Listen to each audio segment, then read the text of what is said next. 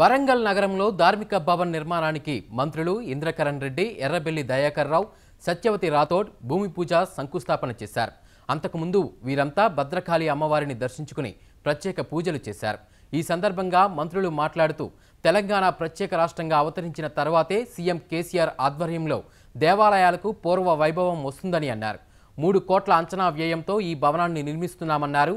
ఒక వెయ్యి పద్నాలుగు చదరపు అడుగు విస్తీర్ణంలో నిర్మించనున్న ఈ భవనంలో ఐదవ జోన్ డిప్యూటీ కమిషనర్ జిల్లా సహాయక కమిషనర్ కార్యాలయాలు మేడారం సమ్మక్క సారలమ్మ ఈవో కార్యాలయం ఇంజనీరింగ్ విభాగాలను ఏర్పాటు చేయనున్నట్లు తెలిపారు. సమ్మక్క సారలమ్మ ఆలయం ఆఫీస్ కూడా ఇక్కడే ఉంటుంది.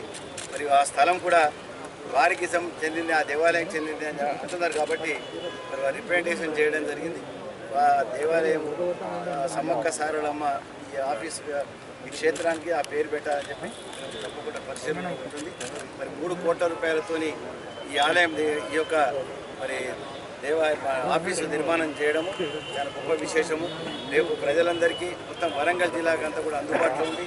సమ్మక్క సారలమ్మ రెండు సంవత్సరాల కోసం జరుపుకునే జాతరకు కూడా మరి ఎన్నో నిర్ణయాలు తీసుకొని ఇక్కడ హాల్ కూడా ఉంటుంది బ్రహ్మాండంగా ఆఫీస్ కూడా ఉంటుంది.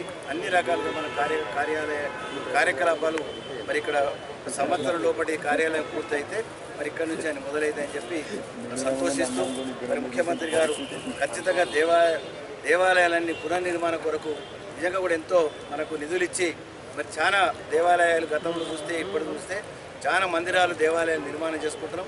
గోదావరి పుష్కరాలు కానీ కృష్ణా పుష్కరాలు అటు భీమా పుష్కరాలు మళ్ళీ ఇప్పుడు తుంగభద్ర పుష్కరాలు ఇరవై తేదీ నుంచి మొదలవుతున్నాయి. దానికి కూడా గౌరవ ముఖ్యమంత్రి గారు నిధులు మంజూరు చేయడం జరిగింది. వారికి మరి గోదావరి పుష్కరాల సందర్భంగా వారికి శుభ కృతజ్ఞత తెలియజేస్తూ పుష్కరాలకు ఈ కోవిడ్ నిబంధనలతో మరి అక్కడికి రావాల భక్తులు అని చెప్పి కోరడం జరిగింది. మరి ముఖ్యంగా సమ్మక్క సారలమ్మ ఆలయం ఆఫీస్ కూడా ఇక్కడే ఉంటుంది. మరియు ఆ స్థలం కూడా వారికి